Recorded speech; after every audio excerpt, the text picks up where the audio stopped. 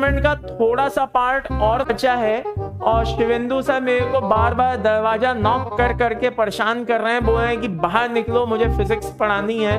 तुमने बहुत इनऑर्गेनिक पढ़ा ली भैया, मुझे फिजिक्स पढ़ानी है। तो शिवेंदु सर मेरे पीछे पड़े हुए हैं। देखो, मैं तुम्हें बुलाता हूँ, बताता हूँ। ये देखो, बाहरी मतलब हाँ ये देखो, ये यहीं पे है। कहाँ गए अभी तो दरवाज़ा? ये देखो, ये। मतलब ये देखो ये पीछे पड़े हुए हैं मेरे हाँ.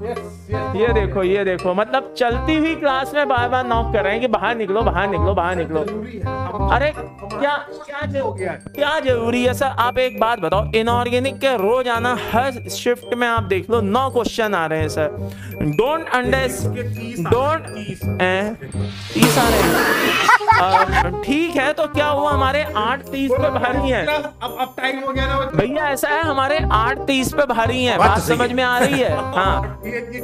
वो नहीं नहीं हम भारी पे भारी हो। देखो वो बात अलग है। हम भारी हैं ये बात सही है लेकिन आठ तीस पे इसलिए भारी हैं क्योंकि आप वो देखिए स्कोरिंग होते हैं वो नंबर लाते हैं उससे परसेंटाइल बच्चे का इंक्रीज हो सकता है।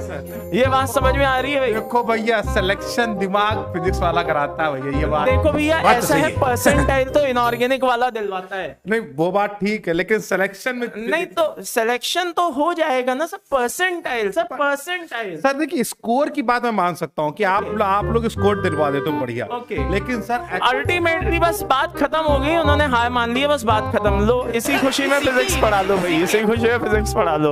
ये लो भाई। चालू करे तरफ़ एक काम करो सर ये मैं बता दूँ तेरे नहीं सर ये मेरे लिए छोड़ दो सर बात समझो सर आप ये बता दोगे लेकिन मैं फिजिक्स नहीं बता पाऊँगा ना बात समझो। ले देखे एक ही तो चीज़ है मेरे पास समझा करो सर मत छीनो ऐसे गरीब इंसान से।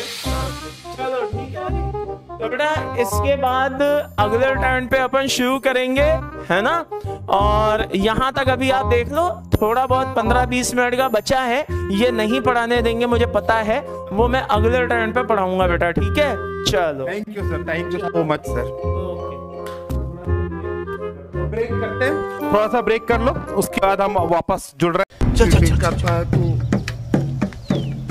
चीटिंग चीटिंग ए, गाड़ी स्टार्ट कर। करता है तू। चीटिंग करता है तू चप्पल छूट गया हम फ़र्स्ट। हम फ़र्स्ट। चला चला।